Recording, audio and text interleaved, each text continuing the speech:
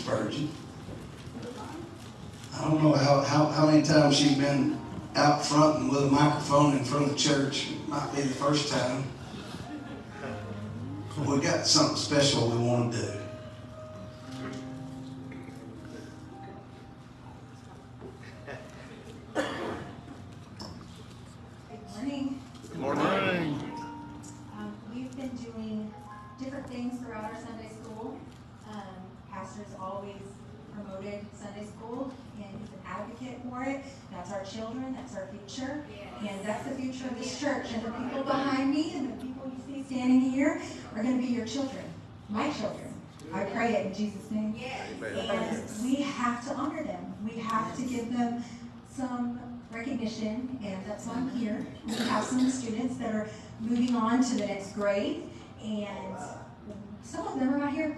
So we have one today, and it's going to be Mr. Brady Anders.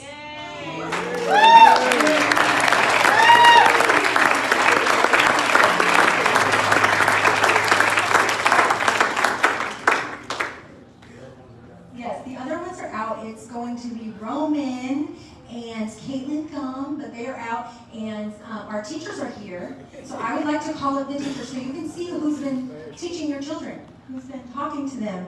And I'm one of them. I'm Sister Rima, in case anybody doesn't know, Sister Rima Spurgeon, and Sister Caitlin teacher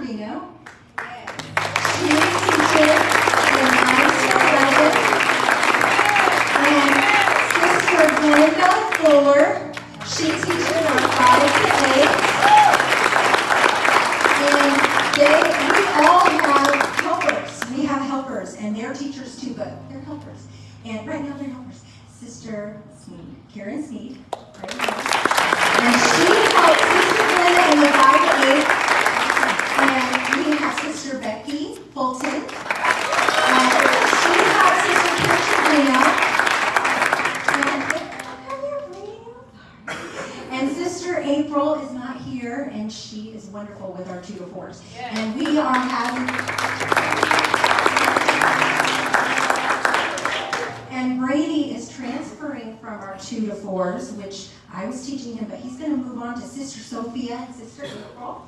And Sister Sophia, if you would come. Just, no, well, you're. Yes, this is the two to fours now. This is the two to fours now. I was the two to fours. And then Sister Glenda, if you would come, he's moving on to your class. So, Mr. Brady, congratulations. Uh!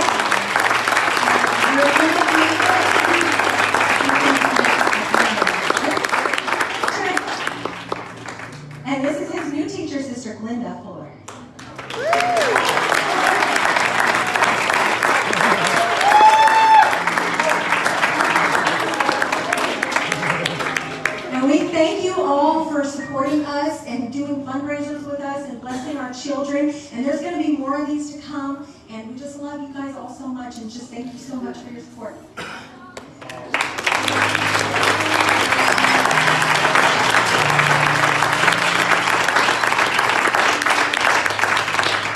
You know what? It does a parent and a grandparent good to see their children growing in the church. I wish all three of them that we had promotions today would have been here, but we, we will we will get to them just as soon as they're as soon as they're back. And uh, she's already said it and said it well, but uh, if time stands, that's our choir, that's our teachers, that's our preachers, that's our musicians.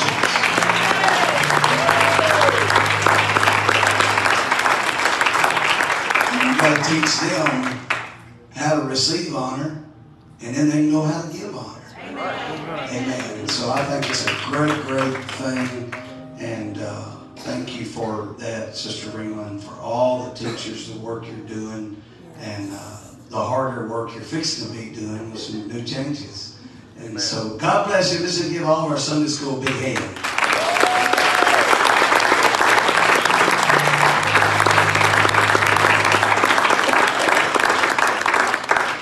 Awesome, awesome, awesome. He's talking about those uh, learning how to receive honor. I learned to receive it so that I could give it. And I'm standing up here to give honor to somebody.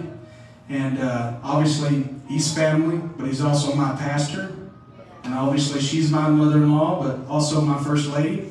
And I want them to come. For those that don't know, today is 11 years that they've been pastoring Life Pointe Church.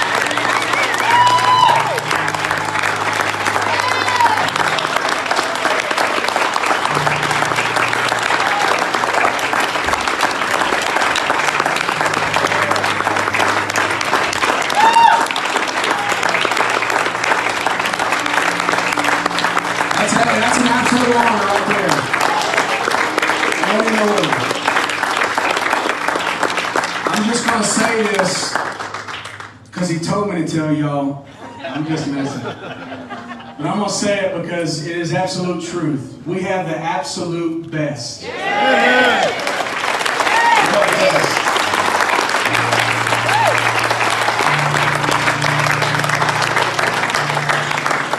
Now, we've kept it a secret, but we're honoring them today. Life Pointe Church is. For those that don't know, didn't get the email or text, uh, we are doing a, a little surprise get together right after service. Please come next door to the gym. We got a little cake. Um, and we want to celebrate 11 years with them and many more. Many more years. With them. And We're thankful. We want to honor them today as we have honored so many of us here in this place today.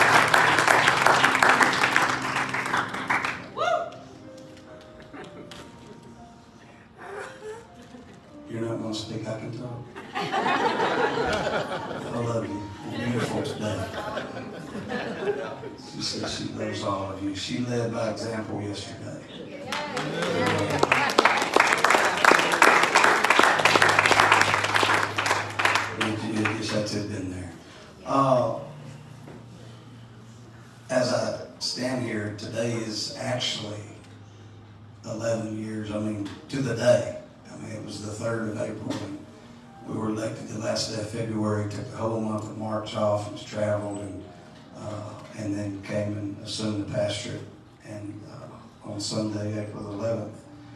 And, uh, we've had some really good times, we've had some times that weren't so good.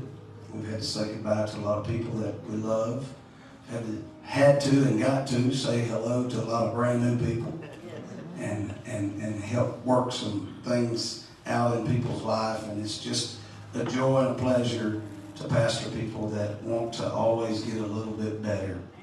But for my part, uh, my wife is, is she's funny, believe it or not, she's funny. Uh, she's, she's got a, quite a personality when it comes to me anyway. And we were standing there and uh, we had a friend that pastored in Winter Park, Florida, and uh, he was a he was a great, great man, going on to be with the Lord now, and he uh, he pastored a church about eight or nine hundred people, something like that. And first service he was over there, he was trying to meet some of the people, and he was standing out in the foyer, and he just stood there. He said he stood there an hour, and then time just kept going by, people trying to talk to him and say who they were kin to. They was trying to get it all to him day one. And uh, he said, just everybody, everybody in a row, he said, they came by and said, oh, Pastor, that was a, such a great message. And he said, after several hundred people walk by and, and tell you that, you know, you kind of start feeling, you know. And uh, he said, all of a sudden, the Spirit of the Lord checked him and said, don't get puffed up. And he said, I just stayed in that in that mode all the way. And he said, right as we were getting ready to leave, he said there was a lady in her late 80s, maybe maybe getting close to 90, just as sweet as she could be, just precious. And she took him by the hand and she said, Pastor, I'm so honored that you're here today and you're my pastor. She said, but in all fairness, That was the worst message I have ever heard in my life. His name was F.R. Reed, and he said, all of a sudden the Spirit hit me and said, F.R., don't get puffed down. So during the highs and the lows, you know, we got we got we got to ride the wave. We're not in control of the ocean. We just got to stay going the right direction. I think yeah, I don't know what's in here, but my wife's gonna take it anyway. So uh, whatever it is, it's a card or a check or a twenty dollar bill, it's gonna be hers. What, what's uh, what's mine is hers, and what's hers is hers. So, I love you. You really are the best. And I want you to give yourself a hand clap. Without you, I wouldn't be here.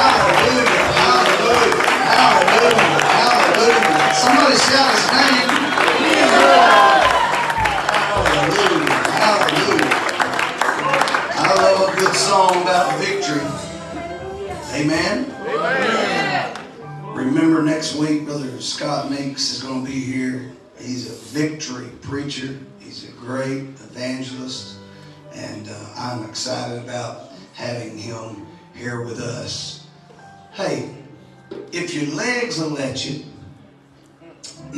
stand up and clear your voice. Get ready. There you go. Yeah. Yeah, that was deep. yeah. I want to go back and, and get one. I want to go back and get one. And it goes like this. Oh, victory in Jesus, my Savior forever. He sought me and he bought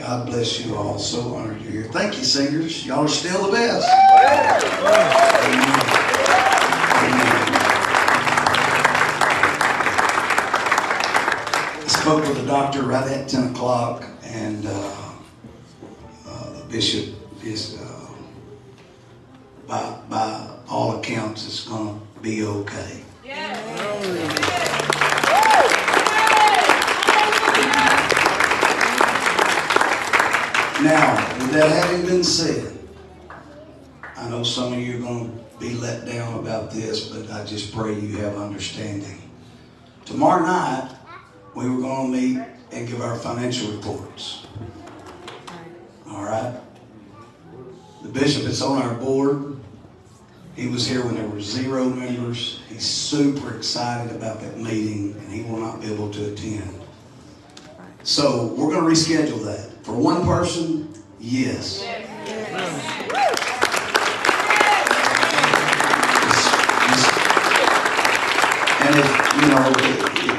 I, I, ju- I just trust you understand that. And, and I, I believe you do, and everything will be okay.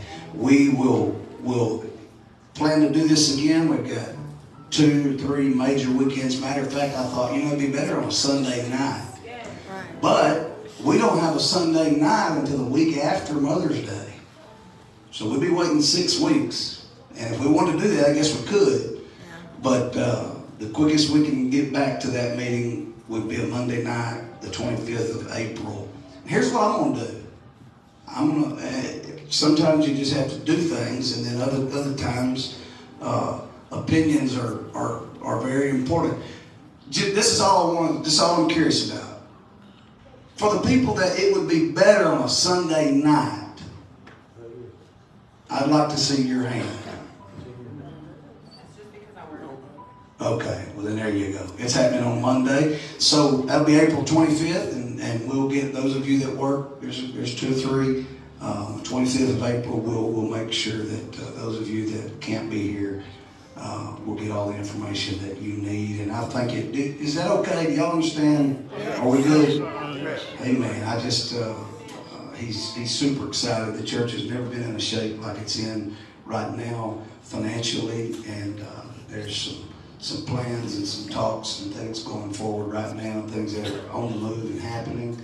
And uh, he just wants to be here. And I know, I know he wants to chime in. And I think, I think that he, he deserves that. He deserves that.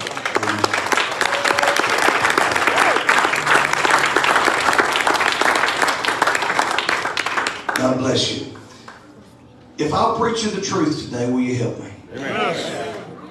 We've got a celebration, it sounds like, and y'all don't know how happy I am.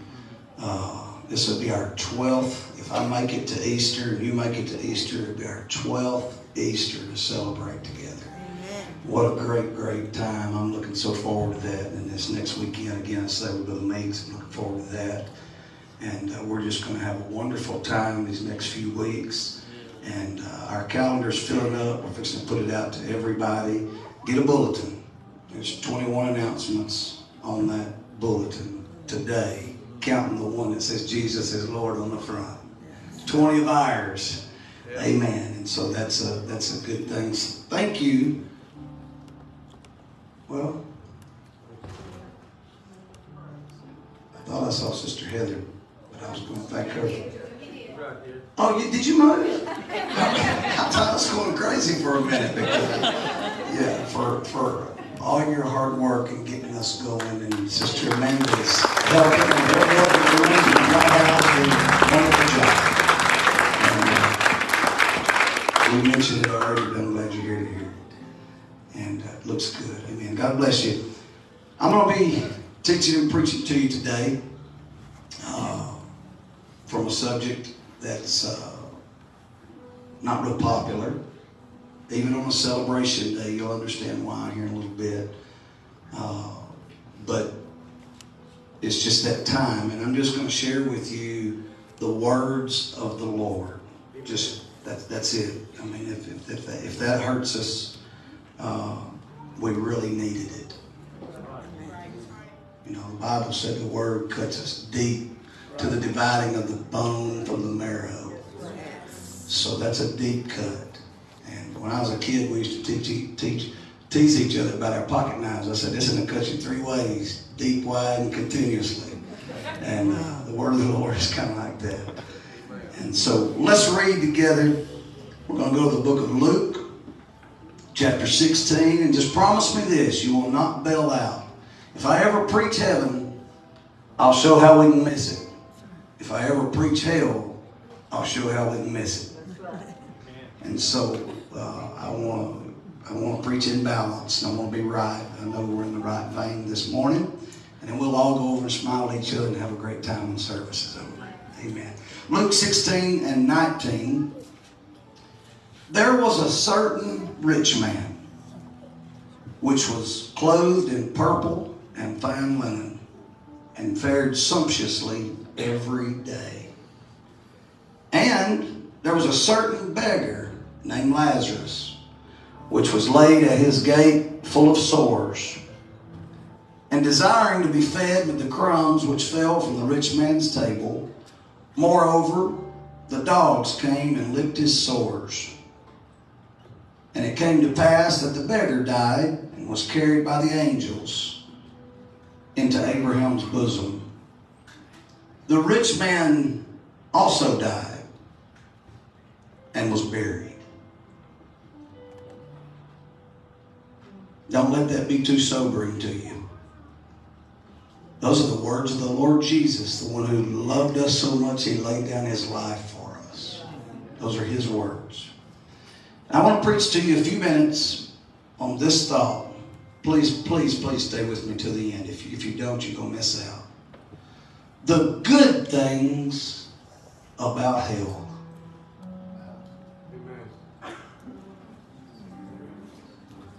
Probably never heard that, have you? The good things about hell. Lord, we love you. I'm so unworthy to stand behind this desk. And Lord, none of us, by earning, have earned the right to hear your word, to be spared by your word, to be touched or healed or delivered by your word. But you're worthy of all we can do for you and all the praise we can give you. Just ask you to move us with your message today. Help us to hear, understand, and respond. And with a special anointing, touch every heart. Please start with mine, as you already have over the last few days, as this thought has just taken over my mind. Just help us. Help us leave here better than we came. We'll give you all the praise and all the glory. In Jesus' mighty name we pray. If you can still praise Him after that little bit of reading, give Him a big hand clap.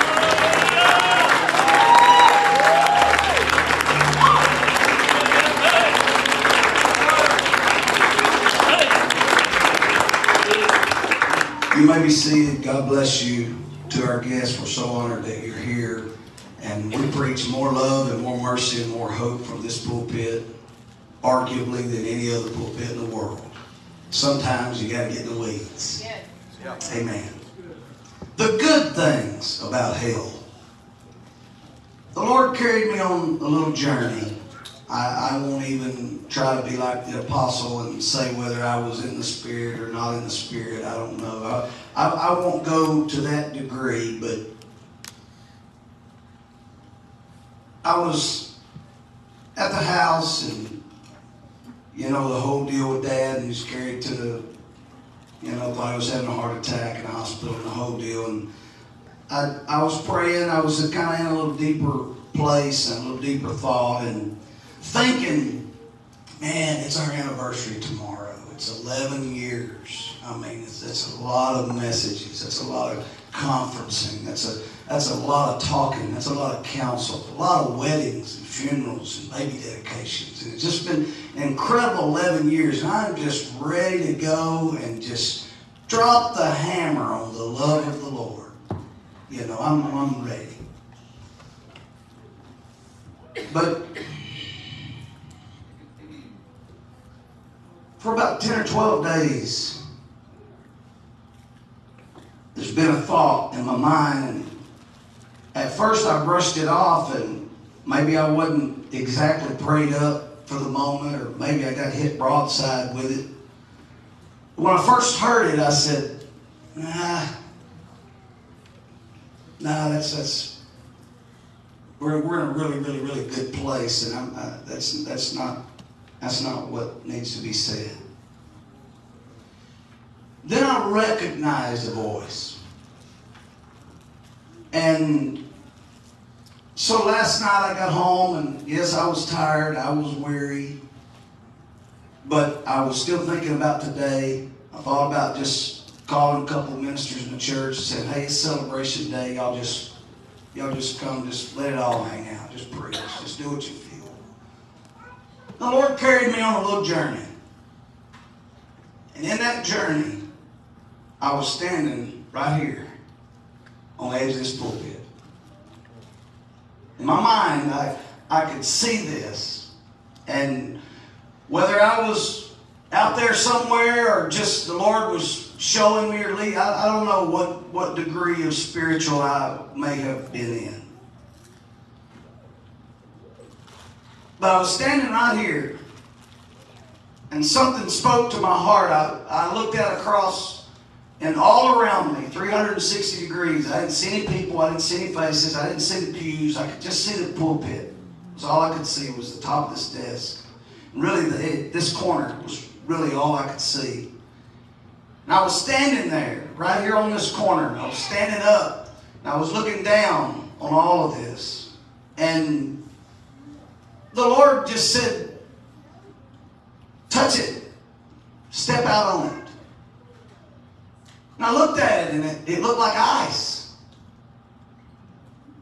And I said, well, okay, you know, okay. And so I reached out and as soon as my foot touched it, it felt like ice.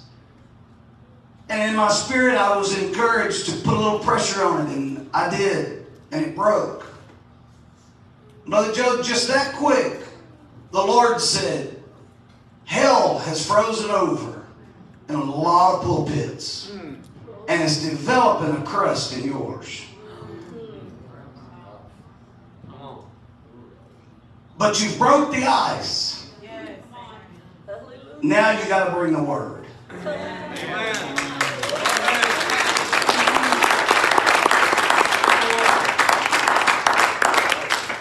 I just want to tell you that there is a heaven to gain. And we love to rejoice about it. We love to sing about it. But we better not ever forget that there's a hell to shun that's just as real and just as deep and just as literal and just as factual. Sure as there are streets of gold, there's a lake of fire. I just can't stand here today, one more service, and continue to help usher in and preach in the miracles and the signs and the wonders of the Lord, while some may just slip away because they can walk on the ice, it's so thick. So I want to preach to you today the good things about hell. I want to be obedient in my spirit. The Lord is writing, this is red letter edition. And he says there's a rich man that died and was buried. And then there was a poor man that died and he was carried into the bosom of Abraham. I studied that out. It was a place of comfort. It was a place where he knew he was okay. It was a place where he knew that eternity was his and he had he had gained and he had shunned all the right things. He was there. Didn't have a lot in this world, but now after his death he is safe. He's sound. He would be in now what we would call heaven. This is before the crucifixion, the death, burial, resurrection of Jesus Christ. And so this is the way it's presented is, is the bosom of Abraham. Some we talk about heaven and talk about eternity. This one is a totally different setting. And it's a, it's a comparison of two spirits, is all it is right here. But it shows us so much. And so today, as a pastor and, and an under shepherd, I, I just have to remind us today that if we believe the words of the Lord, we've got to believe them all. And so I just want to share with you some good things about hell. I, I've, I've dug deep into it and I, I want to share them with you because as I've never believed or uh, understood or recognized before, there's some good things about hell. Are everybody good? Luke 16 and 23. So this is the death of the rich man. This is the next verse.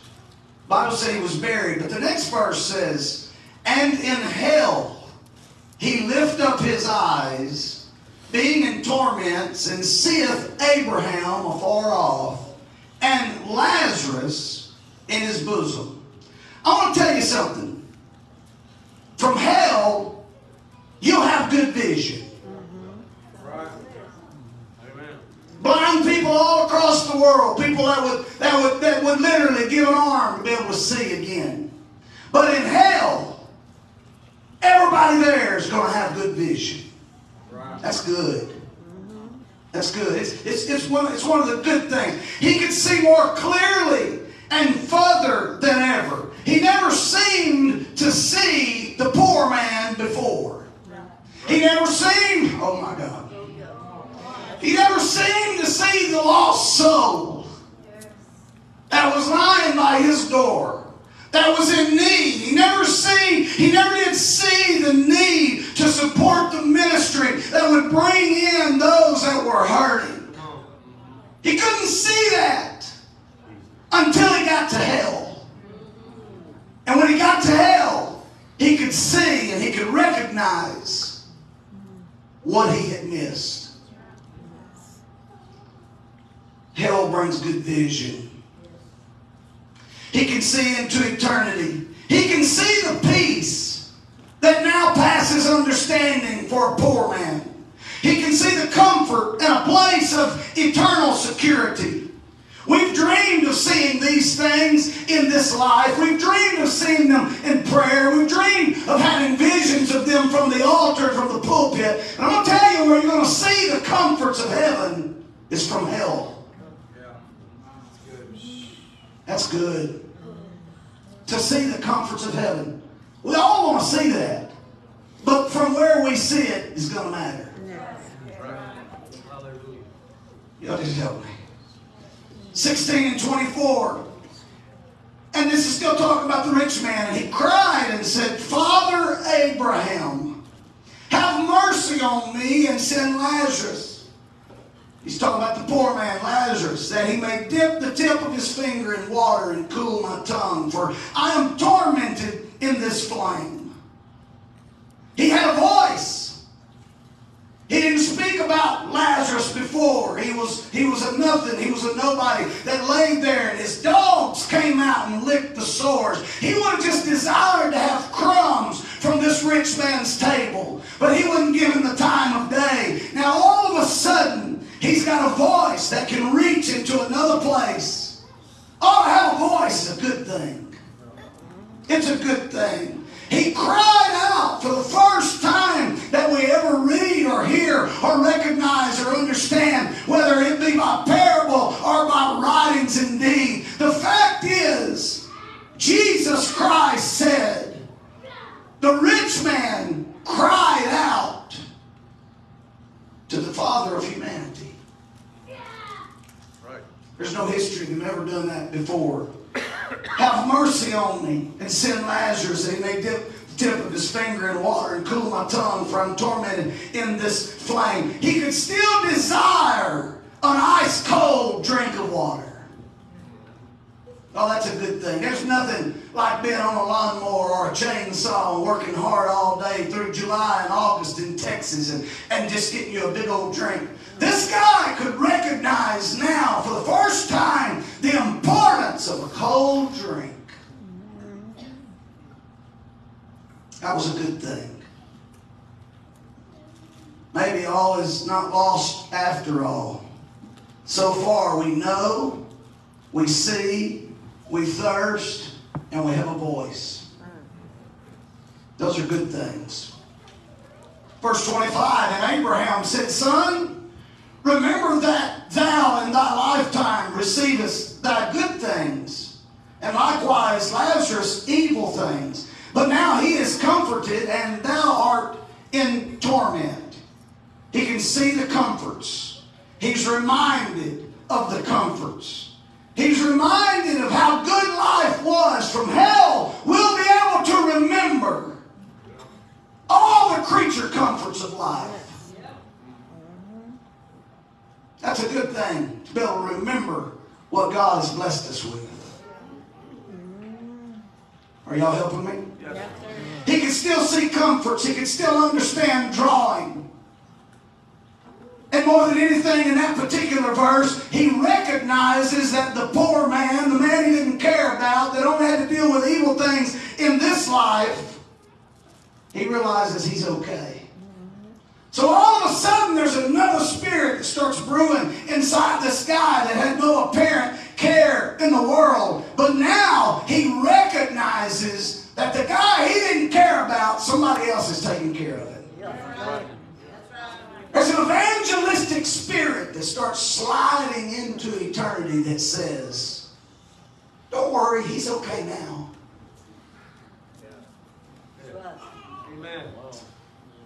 Luke 16 and 26. Abraham's still speaking to him. And decide all this between us and you, there's a great gulf fixed, so that they which would pass from you hence to you cannot, neither can they pass to us that would come from hence. He recognizes that everybody that makes it to heaven, there's no way then to be lost.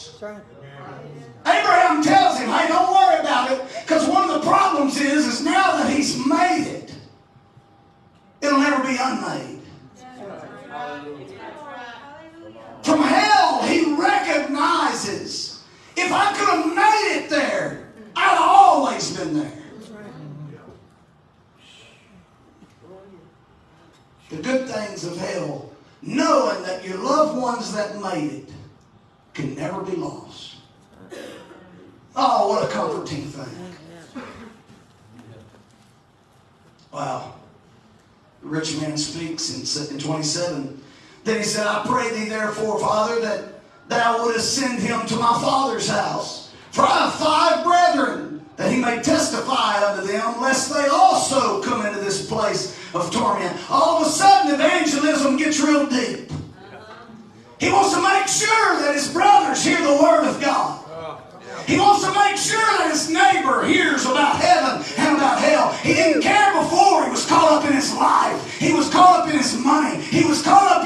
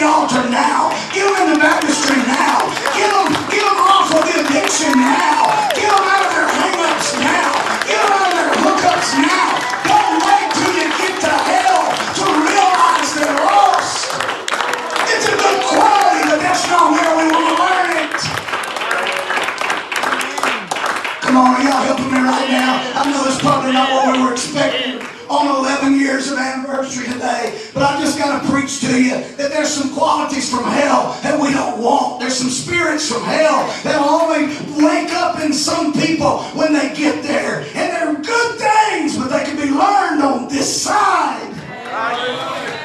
We don't have to be lost to recognize the lost. We don't have to be lost to reach out to those that can't help themselves. We don't have to be lost to get evangelistic. We don't have to be lost to witness to our neighbor, to our brother, to our sister. We don't have to be lost to take a word of hope to our job, to our employment, to the people we work with. We don't have to be lost to reach into our family reunion. He's showing us word you can do it now. That's right. That's right. From hell, he was interested in preaching. From hell, he wanted someone to preach to his brothers. He suddenly loved the word of God. Didn't care too much before. Wasn't interested. Didn't ever read his Bible, apparently. Didn't do much. Because as Abraham was speaking to him in Jesus Christ with his voice and his words, he's saying, Well, but if we could do this. See, he knew about it, but didn't care enough about it to be saved. I want to tell some people in this place today the worst thing that could happen is to die lost. But the worst thing that could happen on top of that would be to die lost knowing the truth.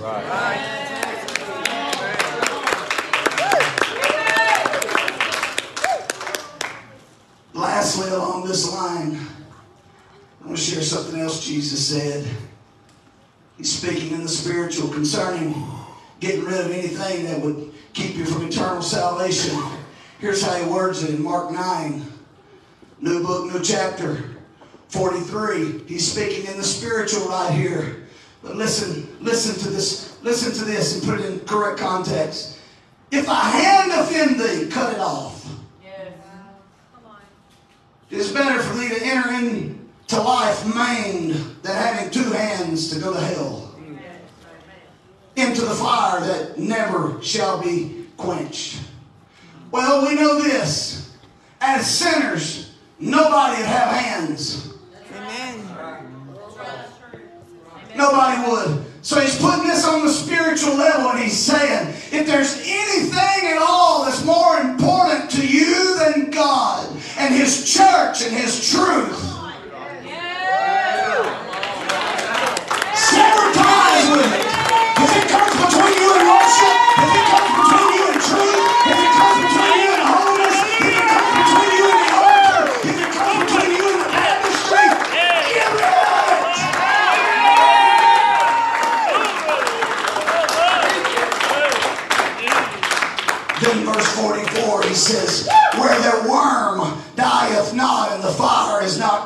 We'll get back to that. 45. And if thy foot offend thee, cut it off. It's easier for thee to enter halt into life than having two feet to be cast into hell and into the fire that never shall be quenched. Where the worm dieth not and the fire is not quenched. Here's what he's saying again. It would be better for you to not even be able to walk into a place than to walk in and be lost. I'd rather see you running around sitting on a skateboard with no legs into heaven and be restored on streets of gold than to go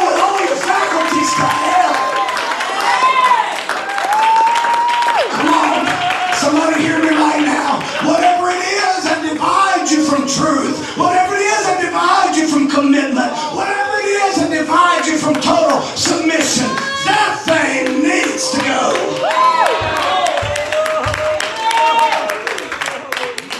My mind, verse 47. And if thine eye offend thee, pluck it out.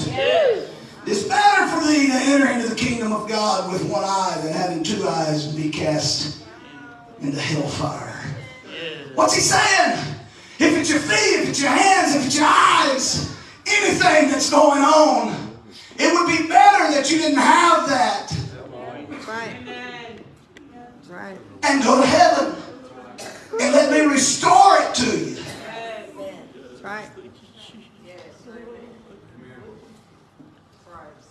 than to go to hell having all your parts.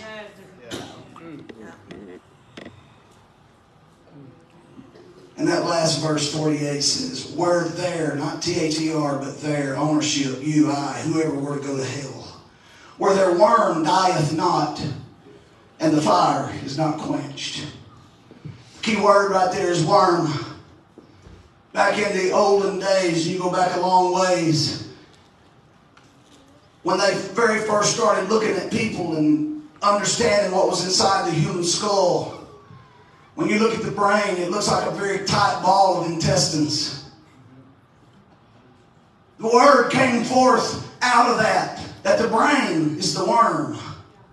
It just looks like worms. Go look at the picture. Go look at it. And, and, and so the writer says right here, at the words of Jesus Christ, he said, The worm dieth not. As we study deep into that, what is that? The brain will never die. Isn't it a beautiful thing when we deal with forgetfulness, when we deal with people that have dementia and, and, and certain types of things, Alzheimer's and things that, that really torture a person. They think about things, they want to say them, and they can't make it happen, or, or they know, they just, they, they just, I wonder about me sometimes. I'll be mid-sentence. I think I've got the 50 somethings. And it's mid sentence.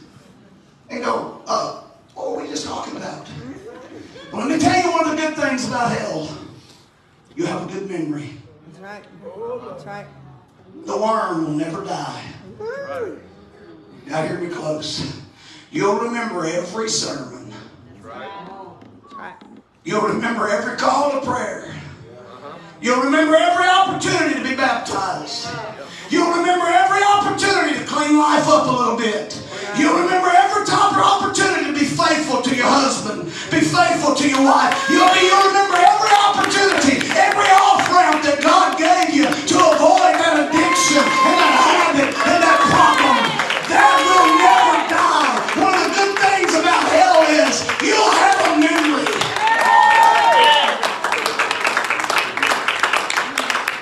Every check, every time you went to go, turn that spirit away, God said, Thou'll never die.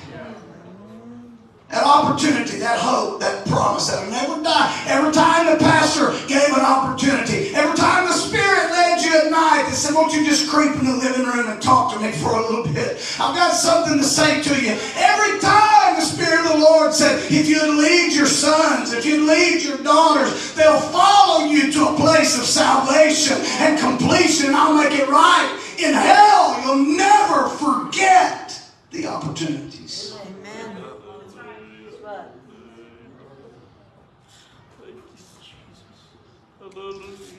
The good things about hell. We'll see, we'll know, we'll care. We'll still be able to thirst.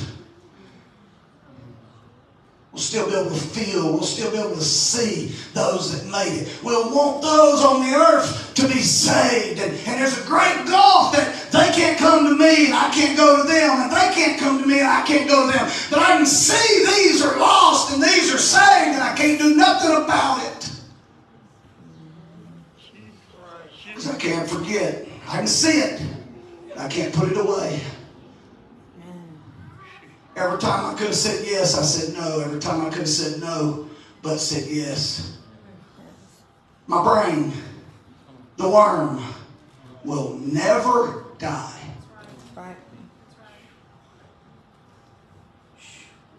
Every time I rejected the Lord, every sermon I heard, every song I heard, every time I felt a nudge and my pride took over, I remember that.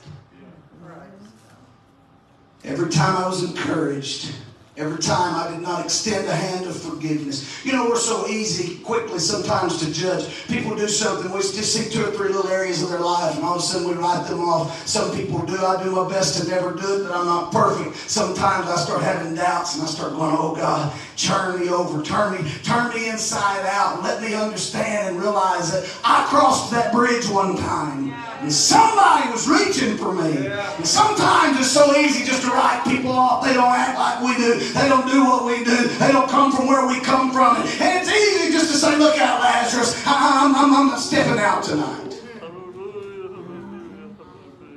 I don't want to be guilty in hell of not caring for anyone. The beautiful thing about that is I will care. That's right. That's right.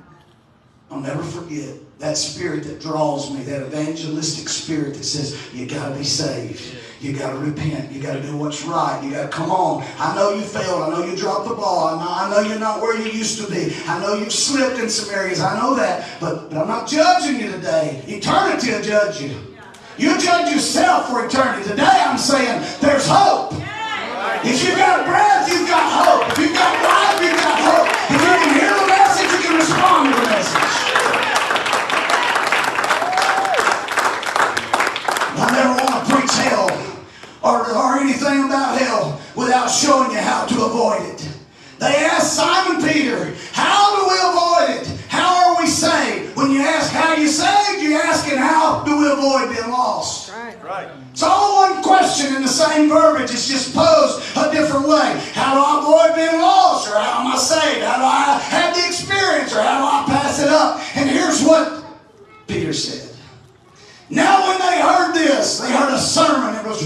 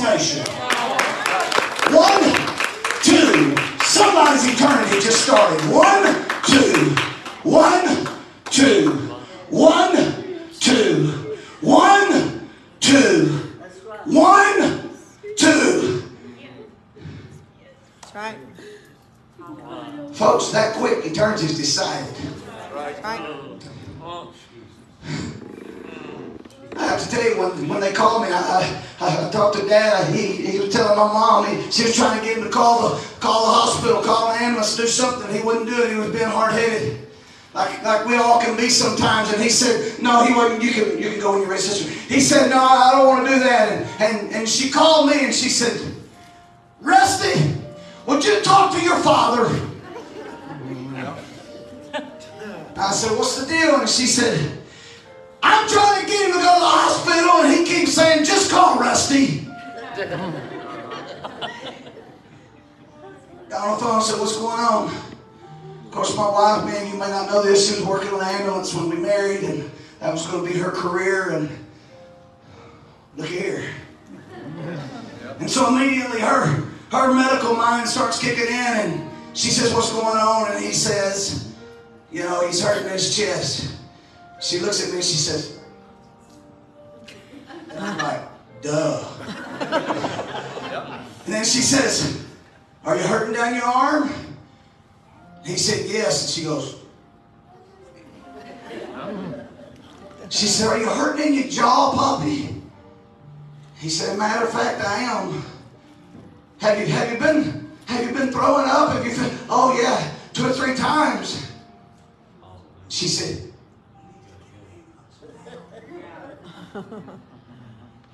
And I said, Dad, call ambulance. He said, I don't want to call ambulance. And I said, they won't, they won't pick you up. They get there and find out you're fine. They won't even bill you. Call ambulance. And I said, Mom, if you don't want to call ambulance, you call ambulance. Don't call me, call ambulance. So they did, and here we are now. But in just a few moments, Sister Williams, is that how it went? You were there. That, that pretty close encounter. She was there visiting with them. She heard the conversation. Hey, somebody hear me right now. And I'm going to just say it because it's my dad, it's not yours. But yesterday, one, two.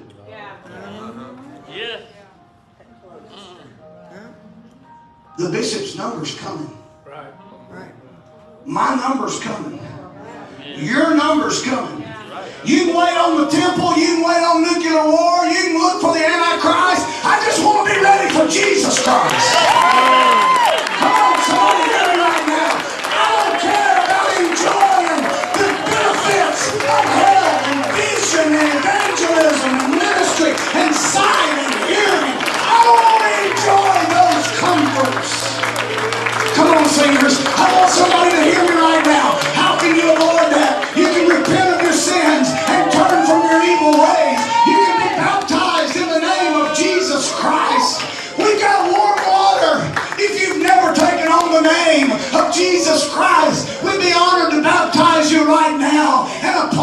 A hope that brings a promise.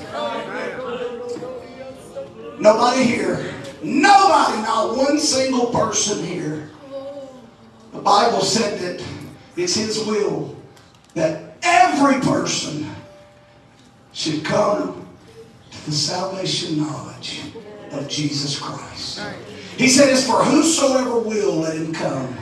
If he knocks, it'll be open. If he asks, it'll be answered. If he seeks, he'll find. If he's thirsty, not only will I give him a drink, but I'll cause to flow from inside him rivers of living water. What are rivers flowing from us do? That helps other folks drink.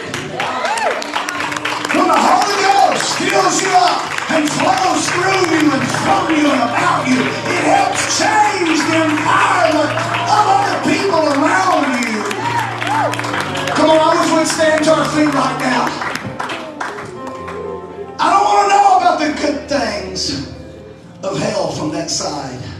But I want to follow what an anointed Simon Peter preached on that wonderful and beautiful day of Pentecost, where he said, It's pretty easy, y'all. It's pretty easy. He didn't say go sell everything you got. He didn't say turn everything you have in. He didn't say get rid of everything. He didn't do that. He simply said repent and be baptized, every one of you, in the name of Jesus Christ for the remission of sins. And then there's the one place, there's not the promise of the Holy Ghost anywhere else. There's a recipe to salvation. And without all the ingredients, we don't end up with salvation. Right. Oh, you can get touched. You can feel the spirit move. You can get the heebie-jeebies. You can get stuff run up down your spine. You can do that. But once you've repented, once you've been baptized in His name, He said, Those that are buried with me will rise with me. He was talking about baptism, buried, not sprinkled, not splattered, but buried. And then He made a promise shall receive the gift of the Holy Ghost. I have to talk about this, and it, it, it won't bring any more pain. Today would be my mother in law's birthday. And their anniversary. As most of you know, he just passed away in 2020, November.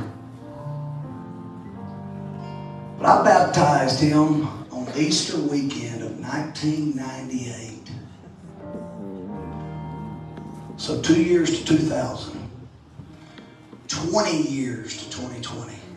For 22 years. We just held on to a shall. Right. Repent and be baptized. Turn your wicked ways. And you shall. Now I can't tell you there wasn't times we didn't question the Lord and say, but God, you said shall. He's turned away. He goes to church. He's on the mowing team. He supports everything. He, he's, he's a good man. And you said shall. Where's the promise now?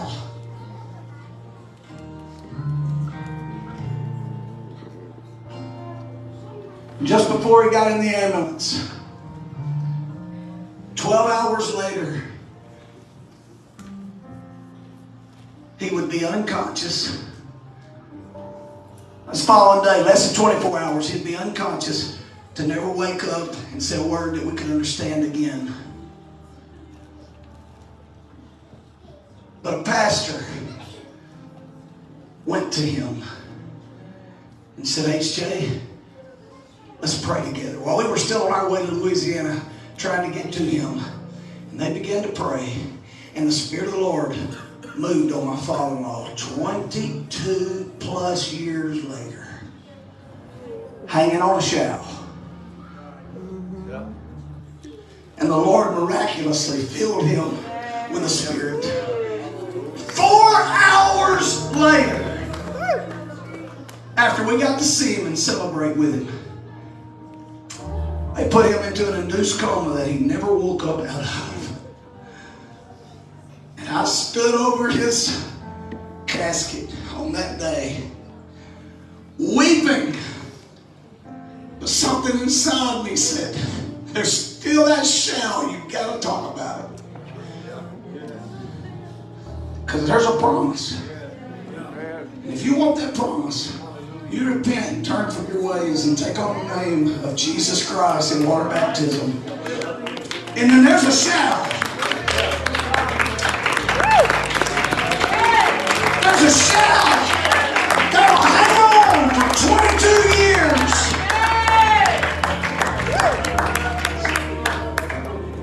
So I'm just curious. Is there anybody like to come to the altar today and just make sure all is well?